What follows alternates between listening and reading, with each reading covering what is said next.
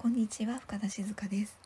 今回も私が今知りたいことを先生に聞いてきました。きっとあなたの役にも立つと思うのでぜひ聞いてください。ただ少し気をつけないといけないのはねそれをなんかこう魔法のように使ったら願いが叶うよって言ってるような本があってもいいんやけど僕はなんか違うような気がするんよね。うん、そういうあんまりこうちょっと信用できないようなものはね。いやそれはお前も信用できないわっていうのはもうごもっともないんやけど。まああの よかったら聞いてほしいということね。あの大体まあそうだな最近のまあいろんな成功した人たちがこういろんな話をしたり本読ん本書いたりねブログ書いたり YouTube したりしてるのを聞いてるとまずは行動だ。行動だってもうとにかく言うんよね。まあ、なんか行動ブーム みたいな感じ。そういうの大体耳にする人が多いしそれ聞いてる人はね私行動力ないからダメだって。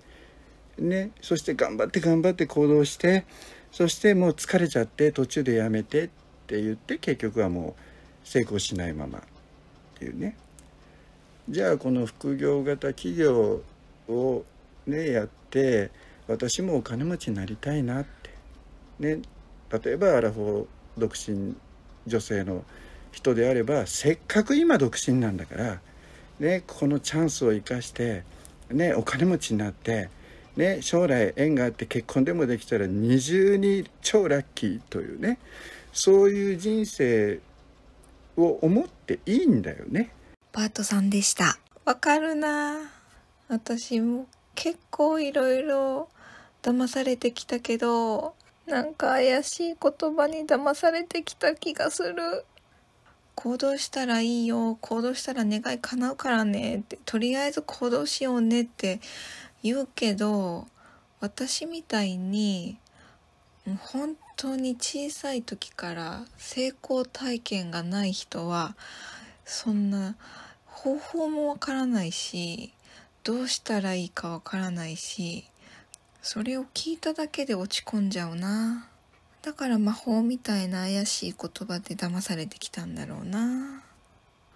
でもせっかく今独身だしアラフォーの今までずっとと悩みばっかりだし、ずっと苦しめられてきたんだから、